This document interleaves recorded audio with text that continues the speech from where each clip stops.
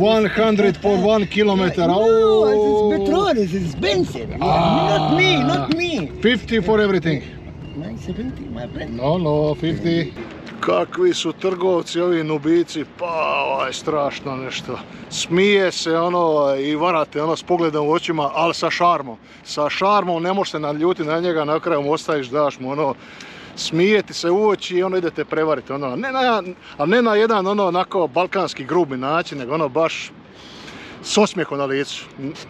Svaka čast. Upravo obilazi jedan kamenolom gdje su se u novom egipatskom kraljevstvu izrađivali obelisci, statue i još što šta od kamena. Pogledajte koliko se toga tu izrovalo, koliko se tu izradilo skulptura, obeliska, ali jednoga nikad nisu uspjeli napraviti. Da je on kojim slučajem bio završen, on bi bio najveći obelisk u Egiptu. Bio bi veličine čak 41 metar. Zanimljivo je što su njega skoro završili i kad su bili pri vađenju istog shvatili su da je s jedne strane kamen truo, oštećen i samo su odustali od njega.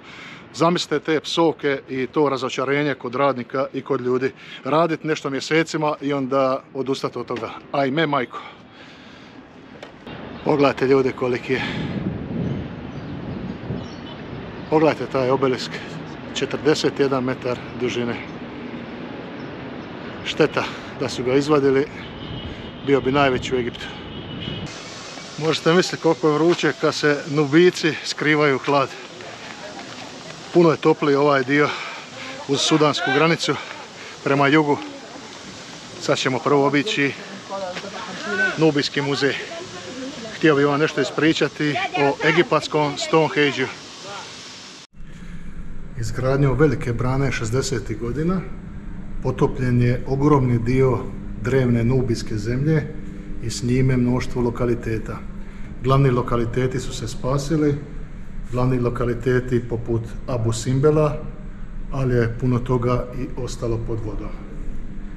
Ovdje imamo prikaz kako izgleda Abu Simbel prije izlijevanja vode, a kako je izgleda danas nakon što je cjelokupna lokacija premještena. Nalazim se u Asuanskom arheološkom muzeju, a ovo što vidite iza mojih leđa, ovo je takozvani Nubijski Stonehenge. Radi se o stijenama koje su donesene s jednog lokaliteta 80 km sjeverno od Napta Plaje i one predstavljaju prvo astrološko poravnanje na svijetu, ono koje mi poznajemo. Taj lokalitet je stariji duplo Stonehenge-a, smatra se da datira negdje 11-12 tisuća godina da je staro. Slobodno možemo reći, ako je Gobekli Tepe najstariji poznati vjerski objekt, tada je u tom slučaju Napta Plaja najstariji poznati lokalitet poravnat po zvijezdama. Neki znanstvenici čak vjeruju da su ljudi iz Napta Plaje bili preteča ljudi koji su izgradili drevni Egipat. Tisućama godina drevna društva diljem planete gradile su ogromne kamene kalendare, poravnavajući ih sa suncem, sa mjesecom, sa zvijezdama, da bi obilježili dolazak proljeća, ljeta i ostalih godišnjih doba, da bi izračunali kakav će biti urod žita, kakva će biti godina, da li će biti poplava, da li će godina biti bogata, dobra ili loša za njih. Osim samog kalendara, smatra se da su ovakva mjesta bila i ceremonijalna, kako za slavlja, tako i za žrtvovanja. Evo moj novi prijatelj jede. Totalno sam oduševljen ovaj, sa nubicima, drugačiji su. I say Nubian people is different of Egypt people. Oni za ovo što mi kažemo čevap kažu kofta. Evo kaže čovjek iz čista mira, naš se u kapiću, kaže hoćeš ovaj, hoćeš mi plati jest. Nikad ga vidio u životu nisu. Ja kao naravno da hoću, s neba pa u rebra, nema šta izgubiti, to je to. To je taj pobjednički mentalitet. Mašala. Neka mi oproste Egipćani, evo nubici su mi puno bolje legli. Opušteniji su, iskreniji su, nisu agresivni, ne nude svoje proizvode, onda te vuku za rukav. E, imaju smisla za humor, smiju se, prijazni su. Stvarno su drugačiji. Već su me ljudi napominjali da osjetit razliku kad dođeš u Nubiju i stvarno je, stvarno su drugačiji. Malo pre ovaj čovjek što sam ga spomenuo, i on zaista mi je upao s pričom, hoćeš mi plati jest. Ali s druge strane bio toliko susretljiv, dobar, toliko toga mi je pokazao, toliko toga je učinio, a odvaja me na jedno posebno mjesto koje je toliko jeftino, a kvalitetna je hrana za lokalne ljude, još je ono rekao da mi dadu cijenu za lokalne ljude, tako da sam ono platio tu hranu za dvoje, duplo jeftinije nek što bi platio za sebe na nekom mjestu gdje bi uletio nakon na prvo da nisam znao. Recimo ima jedna situacija, e, kako da vam objasnim njihov temperament. Ušao sam u Nubijski muzej i pitao sam imaju li vode. Već sam ono prošao onu sigurnosnu rampu i to. I oni kažu nema, otiđi van i uzmi. Ja kao ok, mogu li ostaviti torbu i to može. Ostavim na povjerenje tamo policiji i čovjeku na ulazu, na onom rengenu. Dođem do prvog kafića vani, lokalnog i sad se sjetim da mi je ostala torba s novcima tamo, zada nisu to neki veliki novci da sam se ostavio na, na povjerenje njima, nego jedan manji iznos novaca što sam imao u torbi. Ali dovoljan da kupim to piće. On kaže, no, no, no problem, e, daj kasnije plati, ono. Tako neki opušten stav imaju, ono, ne znam, nije ono kao sad ćeš ti njega prevarit, ne znam, za dvije Coca-Cola ili dvije, dvije boce vode, nego ono, donesi, ako doneseš, doneseš, ako ne, to je to. Mo Salaha, I look... Prvo kaže, you are from Bulgaria, you are from Italija. Kakva Italija? Italija. Italija, uno. Tako, piccolo Geppetto. Danas je stvarno bio jedan dug dan.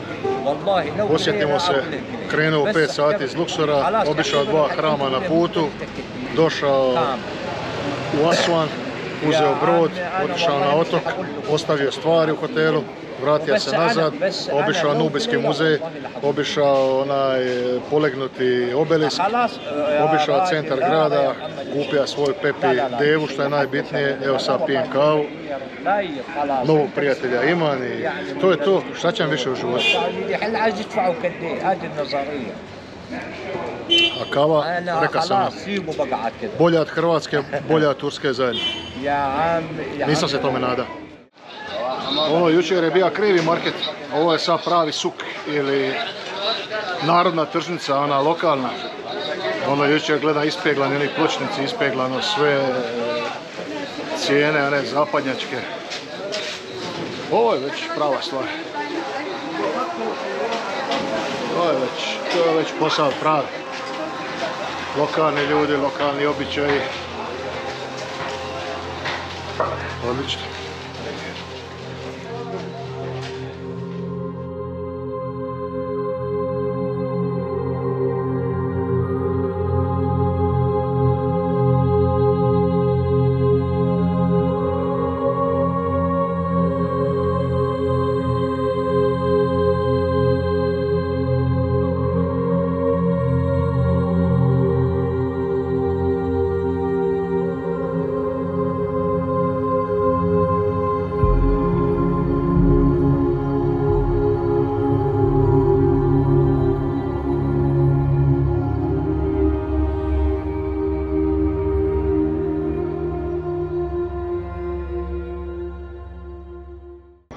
Dame i gospodo, Abu Simbel, moja posljednja službena destinacija na ovom putovanju.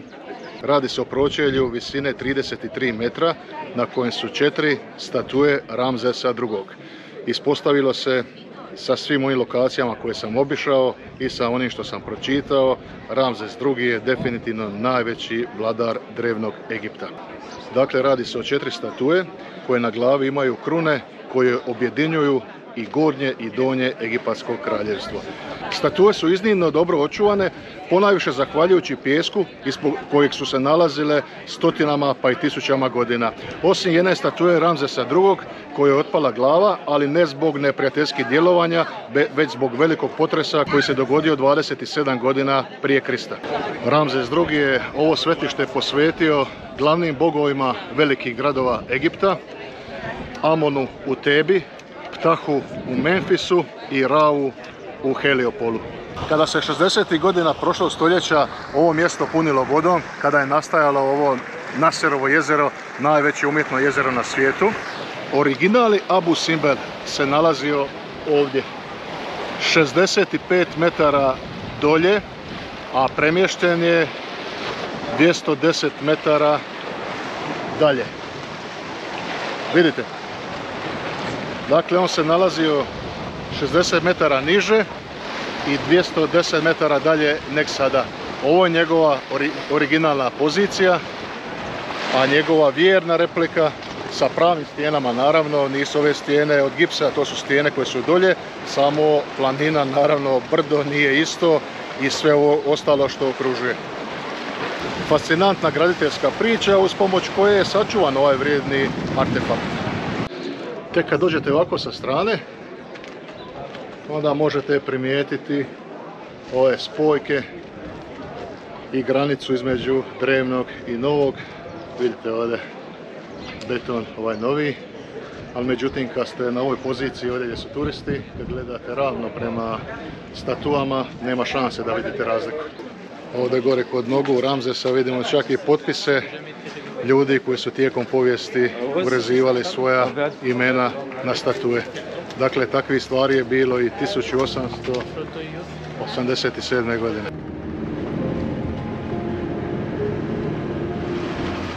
Vraćam se lagano u hotel, dobro odmoriti, ujutro na avion za Kairo, odmoriti još pola dana dan u Kairu, ovo sam ostaje malo da se i odmorim za kraj, zaslužio sam i nakon toga prava Zagreb.